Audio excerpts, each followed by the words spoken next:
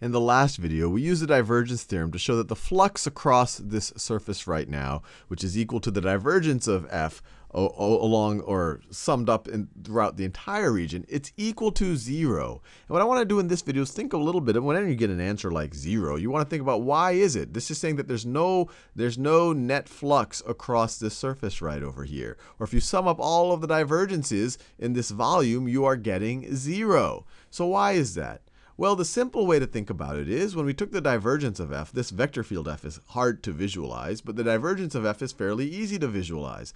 The divergence is equal to 2 times x. So over here, you're going to get, as you go further and further in this direction, as x becomes larger, your divergence becomes more and more positive. So you have very, you have kind of a divergence of 2 right over here. You have a divergence of 1 along that line. And you have a divergence of 0 right there. And that's also true, obviously, as you go higher, because you're just changing the z. You're not changing the x. So all over here, you have positive divergence. Over there, you have positive divergence, and not just along that plane, but uh, if you go in the x direction as well, this kind of this whole region of space, you have positive divergence. I guess you could say in the positive x side of our of our octant. But then as you go in that side, on the other side, you have negative divergence. And this this diagram is symmetric with respect to the zy plane, and so those divergences cancel them out.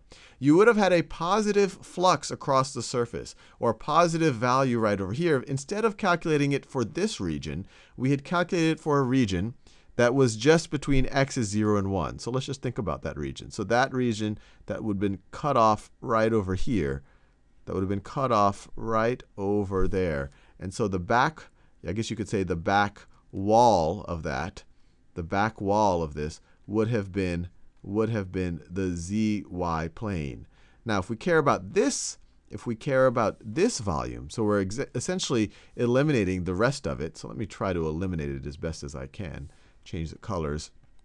So if I eliminate that part of it over there and all, maybe even what we see, all of that, I should have deleted that first. So if we eliminate the back part of it, and we're just dealing with we're just dealing it with, with it when x is positive, then our entire solution that we did in the last video would have been the exact same, except now x is going to vary between, instead of negative 1 and 1, it'll vary between 0 and 1.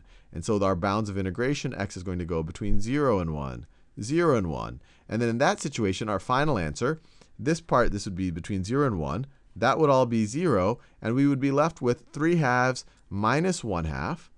3 halves minus 1 half is 1 minus 1 6, which is just going to be 5 6.